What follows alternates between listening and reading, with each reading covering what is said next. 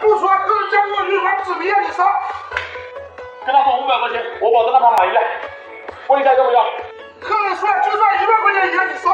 还好鱼尾巴比较大，可以做几道菜。取下肉质最厚的部位，拿来做鱼丸。肉厚的部分虽然有点柴，但特别适合做鱼丸。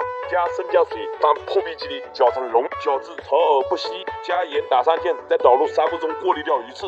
冷水下锅，浮于水面为最佳。鱼丸的烧制过程是烫熟，千万不能煮沸。制作此鱼丸，纯鱼肉口感，不加一粒淀粉。把鱼鳍、鱼骨剁成小块，用蔬菜汁和酱料把它腌制入味。放淀粉、花生油拌匀，放平底锅中用小火煎至两面金黄，爆香铺入薄底，再撒上孜然粉。辣椒粉增香去腥，用小火取出香味，葱花、红椒粒，淋上高度白酒，更能激发出它的香味。鱼香肉嫩一打开盖，满屋的香味只会让人流口水。肉嫩的部位劈成片，做个酸菜鱼，生姜汁、盐、蛋清、淀粉，打上姜，锅中放姜蒜、鱼皮、鱼肚蛋煎熟，再下入酸菜一起炒香，加入高汤、野山椒，让大火煮浓，最后加白醋，盐汤倒入保底。我选择用开水烫鱼片，因为这样烫制的鱼片比较洁白清爽。千万不要煮沸，烫至八秒即可捞出。上面放葱蒜、干辣椒、花椒、胡椒粉，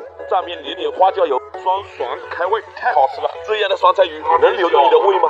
把肉质修薄的鱼块用持刀的手法切成菊花刀，切掉连皮而不断。起煎，盐、葱姜料酒腌制入味。刀工和拍粉的细节决定了你菊花鱼成型的气质。垫好形状，五成油温，慢慢养到至金黄而酥脆。